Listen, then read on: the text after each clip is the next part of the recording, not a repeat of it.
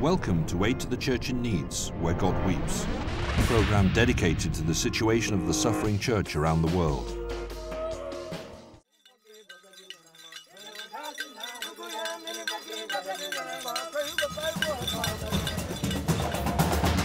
The time has come when God has seen the history of the Sudan.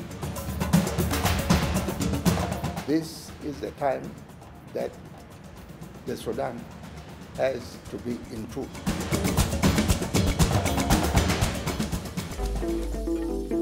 In January 2011, after a series of brutal civil wars and the loss of millions of lives, the people of southern Sudan overwhelmingly voted to secede from the Muslim-governed north. The referendum was peaceful and confirmed by the UN, with 99% of those registered casting their ballots in favor of independence. There was a huge uh, movement of people to, to vote. People in Torit, they went to queue at midnight. They told reporters we could not sleep. So what did we do? We went to the voting station.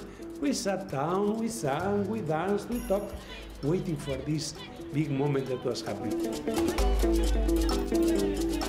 Was really happy. That is the first time for me to vote in my life. I'm now 42 years old. You can imagine.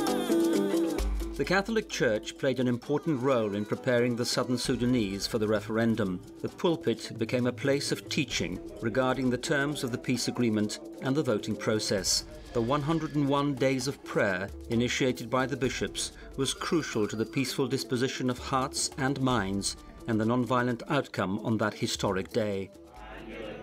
The people of South Sudan were inspired through the Catholic Church. Every day of those uh, 101 days, we are prepared with prayers, with intentions. Our churches, we are guided very much to really prepare spiritually.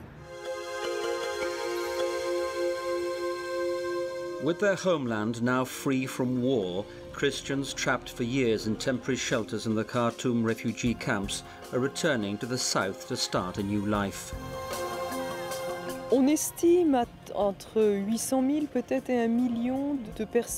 It is estimated that between 800,000 and 1 million people have decided to leave the north, where they have lived in refugee camps around Khartoum, and return to the land of their ancestors. Many return because they have roots here. They are Christians, and here God looks favorably upon them. However, their joy is measured. They are not returning to a paradise where life is handed them on a plate. On the contrary, they must be self reliant. Tout au contraire, tout est à faire.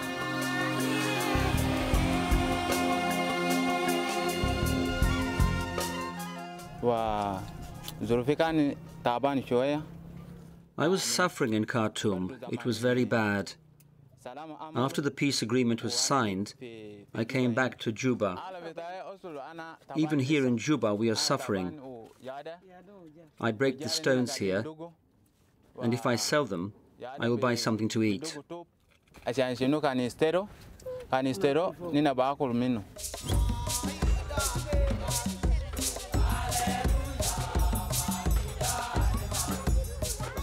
The Catholic Church, which has always stood by the side of the oppressed through the dire times of war, will now see its mission change and focus on building a strong community of the faithful.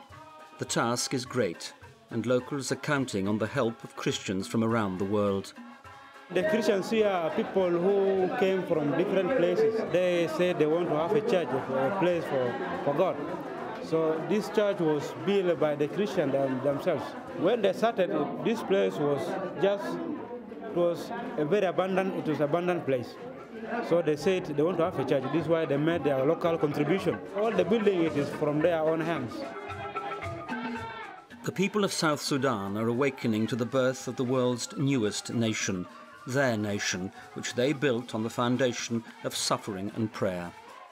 Here is a new country as religious leadership. We are calling for the understanding, the generosity, the charity of the whole world. There are human beings here also like me, like myself, who need to be supported.